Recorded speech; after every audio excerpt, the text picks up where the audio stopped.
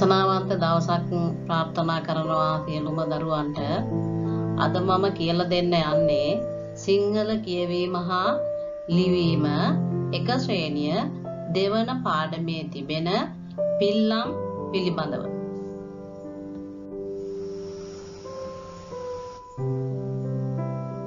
ඔන්න පුතාලට පේනවනේ ඇලපිල්ල. මොකද්ද? ඇලපිල්ල.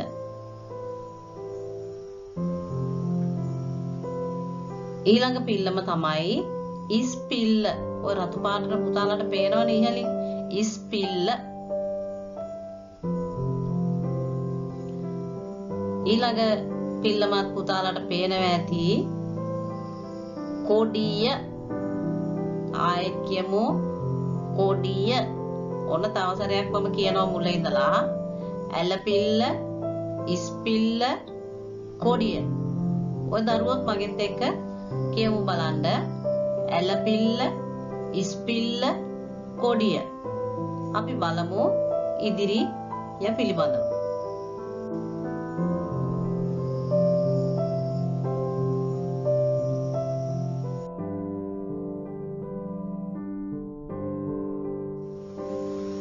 ඔන්න පුතාලට පේනවනේ. ලස්සන පින්තූරයක්. අක්කයි මල්ලි දෙන්න. එනවා මේ ගහ යටට. දුවගෙන එන්නේ නේද? ඌ ගහක් තියනවා. ඒ ගහේ මල් පිපිලා තියනවා. ඊට පස්සේ ඔන්න මේ දෙන්න කියනවා. මේ අක්කා මල්ලිට කියනවා. අන්න මලක් ලස්සන මලක් එහෙම කියලා කියලා දෙනවා පාට පිළිබඳව. එහෙම නේද?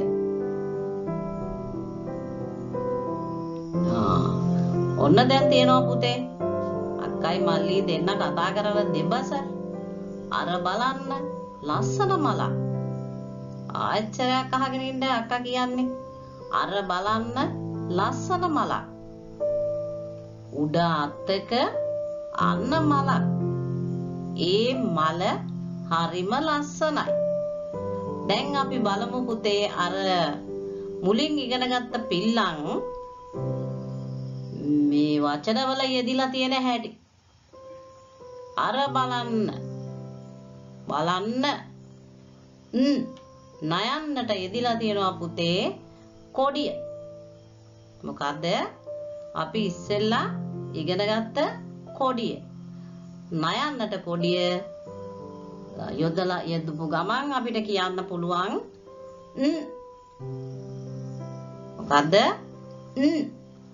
දැන් ඊළඟ පේලියේ තියෙනවා සයන්නට කොඩිය යොදලා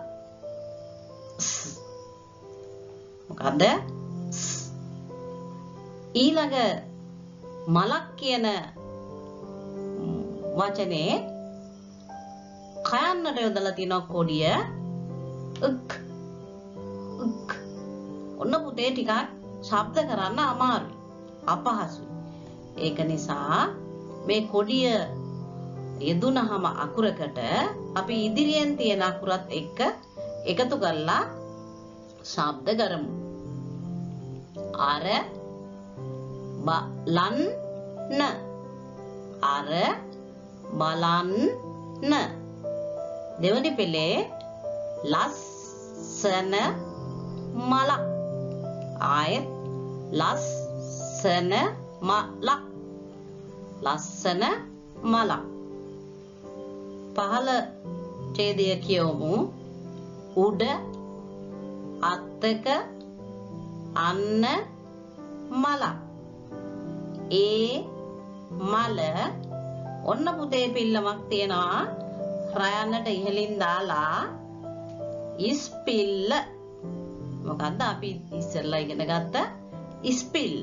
හරිම. ඒක නම් කියවන්න අමාරු නෑ. හරිම. ලස්සනයි. ලස්සනයි. යයන්නෙත් ඉස්පිල්ල යෙදිලා තියෙනවා. එතකොට රි යි. දැන් ඔය අකුරු දෙකම කියවෙනකොට අවසානයේ කියවෙනවා පුතේ යි ශබ්දය. යි ශබ්දය ලස්සනයි හරිම හරිම ලස්සනයි එතකොට ඊ ශබ්දය වචනය අවසානයේදී ශබ්ද වෙනවා. එහෙනම් තව පාරක් අපි ඉහළට යමු. මගෙත් එක්ක කියවන්න. අර බලන්න ලන්න ලස්සන මලක් උඩ අත්තක අන්න මලක් ඒ මල හරිම ලස්සනයි දැන් ඕගොල්ලොන්ට කියවන්න ගත්තාම පුතේ ඔන්න රයන්න අල් නයන්න අල් සයන්න යන්න යන්න කියන්න යන්න එපා. ඒක නිසා කෙටියෙන් අර අර. බලන්න බලන්න. ලස්සන. මලක්. ලස්සන මලක්. උඩ උඩ අත්තක අත්තක අ අන්න. අන්න මලක්. මලක්. ඒ මල හරිම ලස්සනයි. ලස්සනයි. දැන් අපි ඉදිරි කොටස පිළිබඳව අවබෝධයක් ලබා ගනිමු.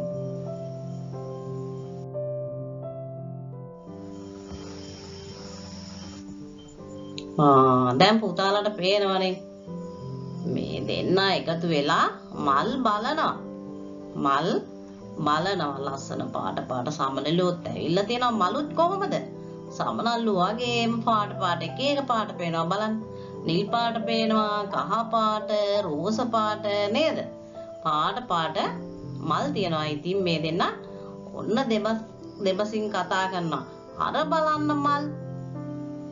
පාට පාට මල්. ආයෙත් අපි කියමු බලන්න මේ දෙන්න කියන දෙබස. අර බලන්න මල්. පාට පාට මල්. ඔන්න පුතේ ඒ අකුරු වලත් දෙදිලා තියෙනවා කොඩිය ඇලපිල්ල. දැන් කොඩිය යෙදෙන තැන් අපි විශේෂ කරලා කියවමු. අර බලන්න. අර බලන්න. මල්. පාට පාට මල්. ආච්චරයක් අර බලන්න මල්. පාට පාට මල්. ඉතින් පුතාලා දුවලා මේ පිල්ලම් යෙදෙන වචන කියන්න ගිහාම මම කිව්වේ ඉදිරි අකුරත් එක්ක කොඩිය යෙදෙන තැන් කොඩිය ටිකක් ශබ්ද කරන්න අපහසුයි ඒක නිසා කොඩිය යෙදෙන තැන්වලදී ඉදිරි අකුරත් එක්ක එකතු කරලම කියන්න ලෑස්ති වෙන්න ඕනේ. ඒක නිසා තව එක පාරක් මේ කොටස කියවමු. අර බලන්න මල්. පාට පාට මල්. එහෙනම් අද පුතේ අපි ඉගෙන ගත්තා කොඩිය ඇලපිල්ල ඉස්පිල්ල කියන පිල්ලම් පිළිබඳව. දැන් එහෙනම් පුතාලා දුවලා මේ පිල්ලම් පිළිබඳව තව සැරයක් මං කියලා දෙන්නම්. ඇලපිල්ල, ඉස්පිල්ල, කොඩිය. එහෙනම් මේ පිල්ලම් යොදලා කියව කියවද්දී ආයන්න රී යන්න කියලා එහෙම කියන්න යන්න එපා. යන්න කියන එක අතාරින්න ඕනේ. ආ එහෙම නැත්නම් මි පි අන්න ඒ වගේ පිල්ලම යන්න කියන කොටස අතෑරලා දාලා එහෙනම් වැඩිහිටි කෙනෙක් එක්ක අක්කලා අයියලා එක්ක එකතු වෙලා මේ පාඩම කියවලා පිල්ලම් පිළිබඳව අවබෝධයක් ලබා ගන්න. එහෙනම් අද දවසේ මගේ පාඩම අවසන් කරනවා. මගේ දරුවෝ සියලුම දෙනාට ආයුබෝවන්